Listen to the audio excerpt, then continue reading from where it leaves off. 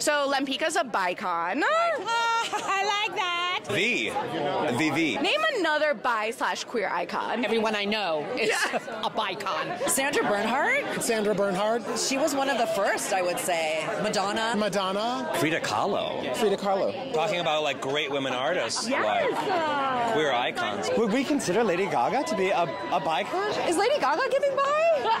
She definitely is. She's giving bi to me. Lady Gaga all day today, art pop all the way. I would assume that Lady Gaga is inspired by Lempicka. All influenced by Lempicka, I might add. Lil Nas X. I feel like what Lil Nas X is doing for his generation, that kind of spills over into my generation, that kind of pisses off other generations. I think that means he's doing the exact thing. Janelle Monáe would be like my one of my favorite artists of all time. Raja Feather Kelly is my queer icon. We have the best fucking queer creatives, cast members. Me. Simone Rose. Simone Rose. Thank you. RuPaul. RuPaul because I'm really up in the drag race r- lifestyle right now.